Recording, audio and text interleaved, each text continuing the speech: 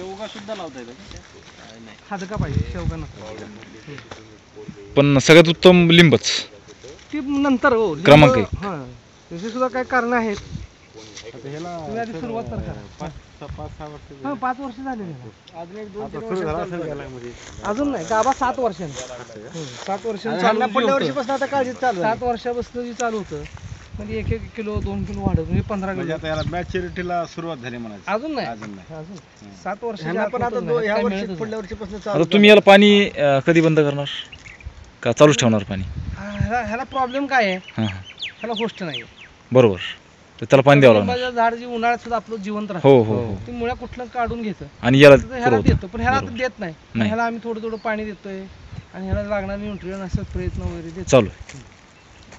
Nutrient सुद्धा कसे आहेत त्याला वेगवेगळ्या हवामानात वेगवेगळे आहेत. तुम्ही आता समजा एकदम सकाळ सकाळी माझ्याकडे आलात मी तुम्हाला जर म्हणलं थम्सअप प्यायचं का? नाही शक्य नाही. तुम्ही काय म्हणणार? नको. अं, बरोबर. चहा मिळाला तर बरं होईल. हो. आणि अगदी मे महिन्यात दुपारी बारा वाजता आल्यावर तुम्हाला म्हणलं चहा प्यायचा का? तुम्ही म्हणा सरबत चालेल. नसलं तर कमीत कमी थंड पाणी द्या. बरोबर. तर दोन्हीतलाही तुम्हाला मिळणारा घटक हा ऊर्जा घटक हा साखरच आहे.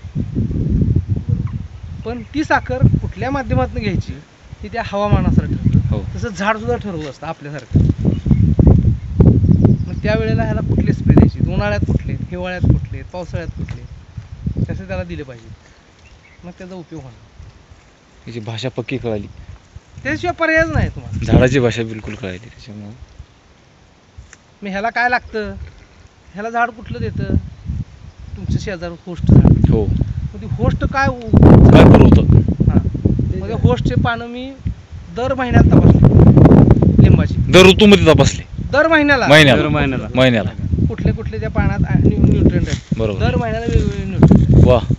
आणि मग त्या पद्धतीने न्यूट्रिएंट त्याला स्प्रेतनं दिले मी ह्या त्या सायंटिस्टला मी स्प्रे देतो ही सुद्धा सांगितलेलं असं असं एवढं बारीक तर काय सांगितलं त्याच्याशिवाय त्याला पर्याय नाही ना. तुम्ही कधी काय दिलं म्हणजे ज्या वेळेला तुम्हाला फळ येतं त्यावेळेचे न्यूट्रिएंट वेगळे आहेत. बरोबर. फळ पिकताना जे न्यूट्रिएंट वेगळे आहेत ते वेगळे. त्यावेळेला तुम्हाला पोटॅश द्यावं लागतं. हो हो. सुरुवातीला तुम्हाला आता लगेच फॉस्फरस नायट्रोजन द्यावा लागतो. बरोबर. मग तसंच आहे त्या मग त्याला लिंबोळ्या कधी येतात ती फळं मॅच्युअर कधी होतात त्याला पानगळ कधी होती पानगळ होताना त्यातला त्यावेळेला कुठली अन्नद्रव्य असतात ह्या सगळ्या गोष्टींचं बारा महिन्याचं करून मग ठरवलेलं आहे. त्यामुळे हे अशा पद्धतीचं आलंय. त्यामुळे ती वेडा झाला हो. म्हणजे असं काय चंद्राची झाडं काय लय भारी दिसतील असं नाही पण ती नाहीच. होस्ट नाहीये आणि एवढे झाले. कुछ भी नाही आहे आया कैसे आहे असं ते जिवंत राहिलेच कसं? त्याला त्यातली माहिती आहे की होस्ट के बिना आई नाही. नाही नाही येऊ शकत. कुठं कधी म्हणला तेव्हा वेस्ट इंडिया फिटिया सगळं म्हणजे ऑल खूप इंडो झालंय बा. देशातलं मॉडेल संशोधन करतो तरी आमच्या दृष्टीने फेल समजा. हा फेल आहे माझ्या दृष्टीने. हे चांगलं आहे. ह्याचे रिझल्ट तुम्हाला बघायला मिळतील नंतर. काय?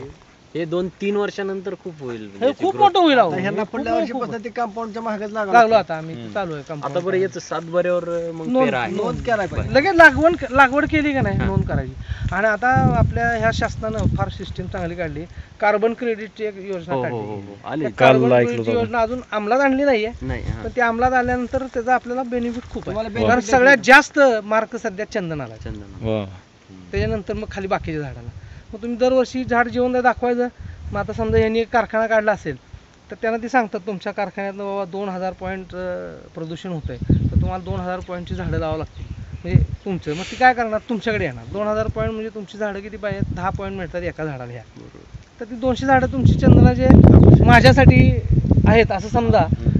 मग ही नोंद तुमची ह्याच्यापाशी होणार वनीकरणाकडे. आणि त्या दोनशे झाडं बदल्यात तुम्हाला मग ही पैसे देतील दहा हजार वीस हजार. म्हणजे काय संबंध नाही. फक्त ह्याचं जे काय होणारं Carbon प्रदूषणचं कार्बन क्रेडिट ह्याला दिले त्यामुळे तुम्हाला पैसेही मिळत राहणार त्यात. पांडुरंगला एक कोटी रुपये मिळाले की मिळाले हा पहा. एक कोटी रुपये मिळाली. कार्बन कार्बन क्रेडिट जे पांडुरंग सहकारी कारखाना आहे स्वतःची ना आहेत. त्या कारखान्याने काय केलं? शेतकऱ्यांना झाडं वाटली. प्रत्येकाला दहा दहा वगैरे. सगळी कुठली? मग ती वाटलेली कागदोपत्री व्यवस्थित केले.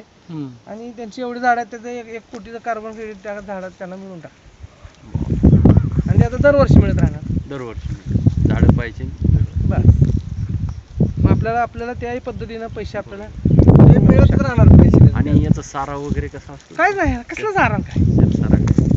सारा काय आपला रोजचा रोज नियोजन जे- जरा- उलट जे असेल ते सात जे शेत सारा भरणे म्हणजे हे तुमचा पुरावा झाला हा पुरावा तेच तेच की माझं बाबा इतके वर्ष झाले मी चंदन लावलेलं लावलंय. चंदनाचे पैसे देतो मी पंधरा वर्ष झाले हा.